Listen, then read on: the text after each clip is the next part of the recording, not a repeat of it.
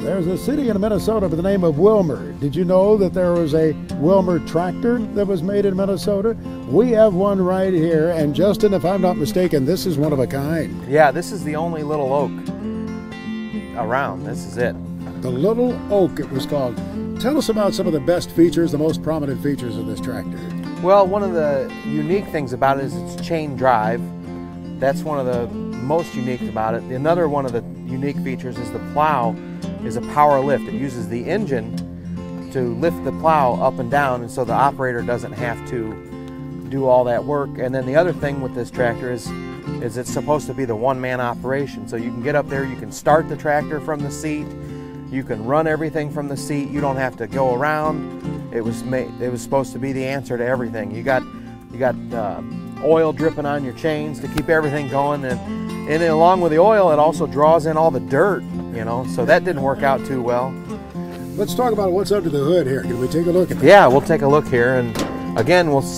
Uh, It's well, chain drive. Yeah, so they use chain to drive the belt pulley also, and then you got your differential and your two-speed in there, um, and then you've got a radiator on this thing that's similar to a boiler. It's got tubes running through it, so the air passes through the tubes, and then there's water around the tubes. So that was kind of a radiator design of the period.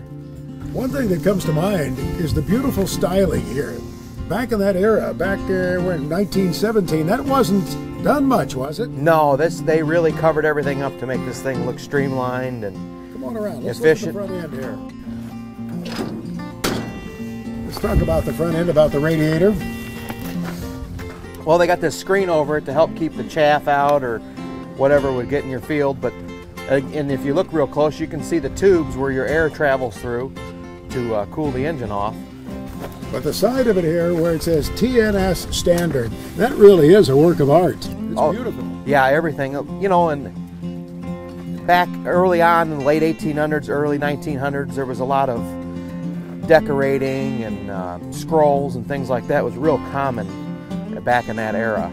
A chain oiler on both sides then. Yeah, yeah. Let's come on around and look at this plow back here with me. Let's talk about that a little bit. You mentioned the fact that it could be operated from right up there on the platform. Yeah, the plow has a, a pedal up there on the platform. You push the pedal down, and that'll lift the plow up and down so that you don't have to grab the levers or anything, so it makes it quick and easy to turn at the end of your rows. It actually looks like a rather comfortable seat, especially for that era. Yeah, yeah. What think about that? It, well, they're kind of copying a car. If you look up there, you'll see how the controls on the column are similar to cars of that era. And that seat is real similar to like what was found on a lot of cars, speedsters and things like that.